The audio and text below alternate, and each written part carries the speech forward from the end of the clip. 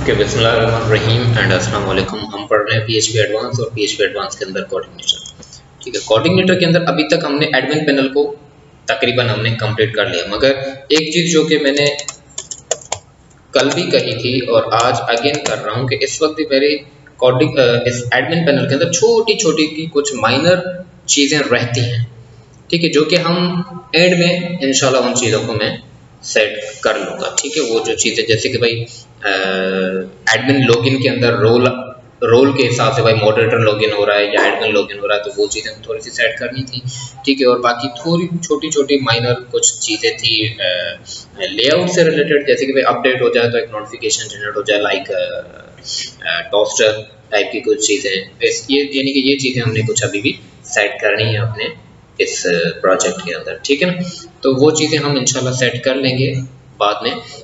क्योंकि अब आ, हमने काफ़ी टाइम यानी कि एडमिन पैनल को दे दिया है तो इस वजह से यानी कि मैं अब लाजमी समझता हूँ कि अब हम यूज़र पैनल की तरफ़ मूव करें। ठीक है? अब सबसे मेन चीज़ के यूज़र पैनल के लिए हमें एक टेम्पलेट की ज़रूरत है। एक टेम्पलेट की ज़रूरत है। तो उसके लिए मैं क्या कर लेता हूँ कि हम गूगल से ही कोई टेम्पलेट उठा लेते हैं देख लेते हैं ठीक है? वैसे तो देखा जाए कि बने बनाए टेम्पलेट उठाने से यानी कि देखा जाए वो इलीगल होते हैं वैसे। ठीक है? अब क्योंकि मैं इस अपने प्रोजेक्ट को as a professional project use नहीं करूँगा। ठीक है? ना कोई मैं इसको यानी कि लाइव कर लूँगा या अपना बिज़नेस स्टार्ट करूँगा। ऐसा तो कोई काम मैंने फ़िलहाल करना नहीं क्योंकि हम तो सीख रहे हैं सिर्फ़, ना। ठीक है? तो मैं आपको सिखा रहा हूँ क्योंकि तो उस वजह से मैं फ़िलहाल एक बना बनाया टेम्पलेट ही उठा लेता हूँ गूगल से। ठीक है? वरना अगर आपको कोई भी प्रोजेक्ट एज अ लाइव चलाना है, अपने बिज़नेस के लिए स्टार्ट करना है तो अगर उसके लिए आप कोई थीम चूज़ करो तो वो बेहतर होती है कि आप प्रीमियम थीम उठाओ, यानी कि परचेज करो। ठीक है? या अगर परचेज नहीं कर रहे तो कोई वेब डिज़ाइनर देखो जो कि आपको डिज़ाइन करके दे खुद से।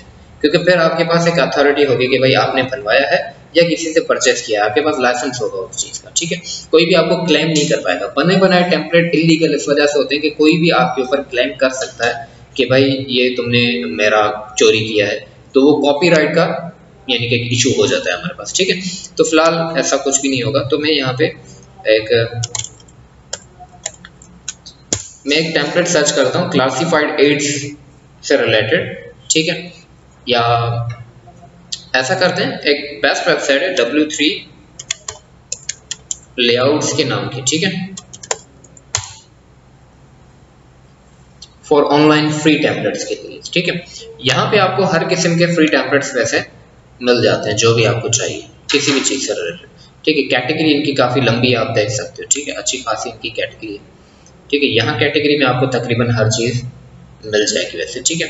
तो यहाँ कैटेगरी में हमारे पास आ, ये क्लासिफाइड एड्स के नाम से पूरी की पूरी कैटेगरी मौजूद है इन्होंने दी हुई है ठीक है? यानी कि इसमें टेम्पलेट हमारे प्रोजेक्ट्स से रिलेटेड यानी कि टेम्पलेट क्लासिफाइड एड्स से मुराद यानी कि आप अपनी एडवर्टाइजमेंट को सेल भी करो परचेज भी कर सको दिस टाइप इस किस्म की कोई चीज़, ठीक है? भाई क्लासीफाइड एड्स पे मैंने क्लिक किया। ठीक है, यहाँ पे इस वक्त इन्होंने तीन दिए हुए ये कार से रिलेटेड है, ये भी क्लासीफाइड एड्स हैं, ये भी एड्स हैं। तो मैं ये उठा लेता हूँ। ठीक है, पहले इसका डेमो देख लेते हैं। ये मैं आ गया इसके डेमो में तो देखें ये अच्छा खासा यानी कि कैटेगरी वाइज हमें दिखा रहे हैं कि भाई ये सारी कैटेगरीज हैं जो कि आप सेल कर सकते हो या परचेज कर सकते हो, ठीक है? तो ये अच्छा टेम्पलेट बना हुआ है।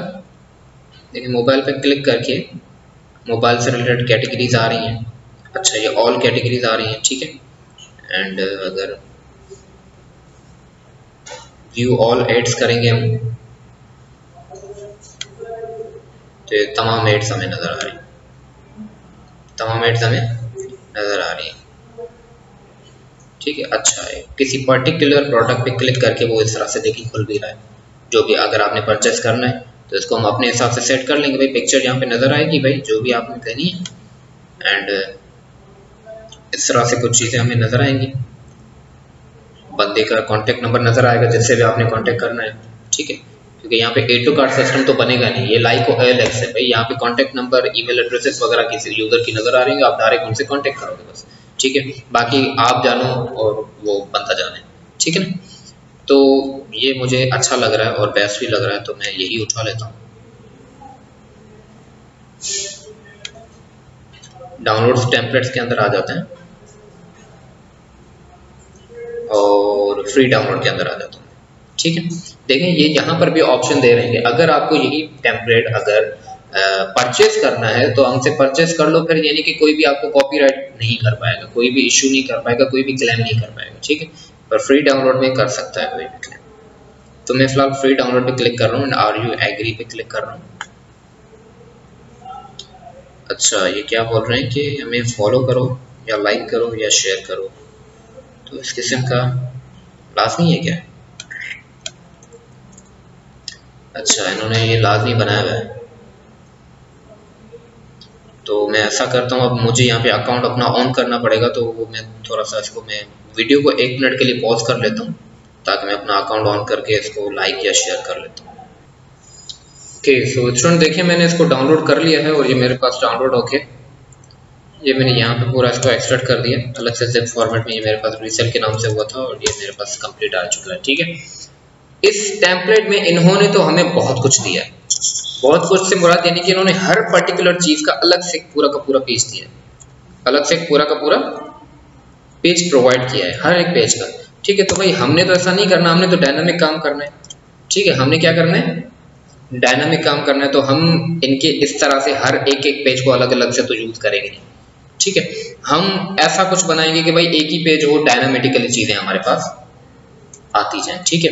एक तो जैसे कि जो मेन होम पेज है, ये तो हमें चाहिए हर हाल। ये तो हमें हर हाल में चाहिए, ठीक है? उसके बाद भाई जब हम किसी भी कैटेगरी पे क्लिक कर रहे हैं तो यहाँ पे देखें कैटेगरी अलग से दोबारा भी आ रही है।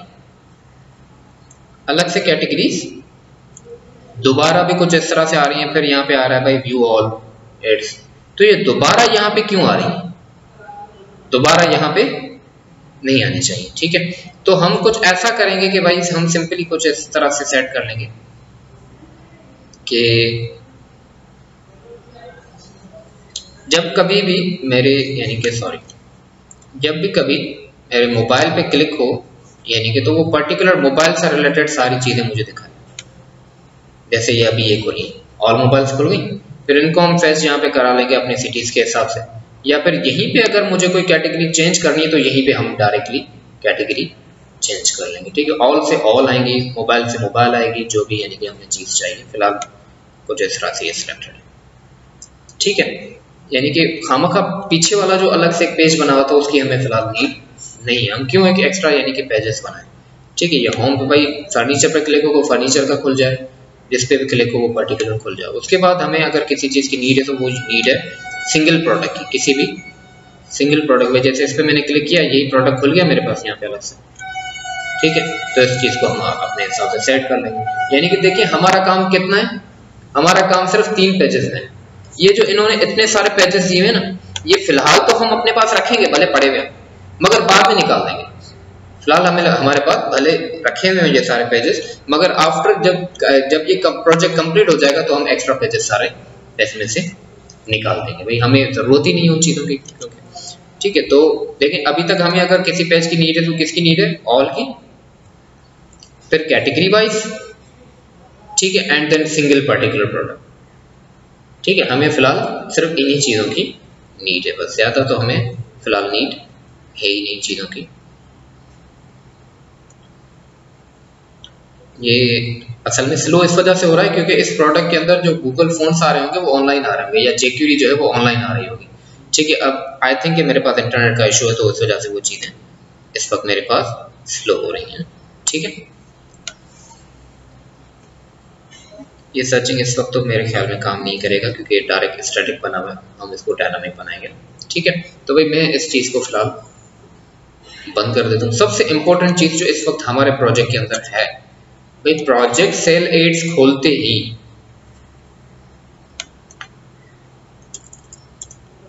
खुल क्या रहा है हमारे पास? लॉगिन खुल रहा है। भाई, कभी ऐसा होता है कि प्रोजेक्ट की वेबसाइट आप किसी भी यानी कि वेबसाइट का यूआरएल ऑन करो तो डायरेक्ट एडमिन पैनल खुलता हो।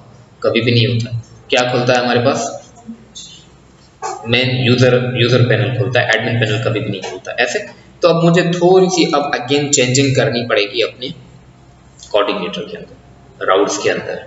ठीक है, थोड़ी बहुत मुझे क्या करनी पड़ेगी? लाजमी चेंजेस करनी पड़ेगी। ठीक है, और वो किस तरह से करेंगे हम चेंजेस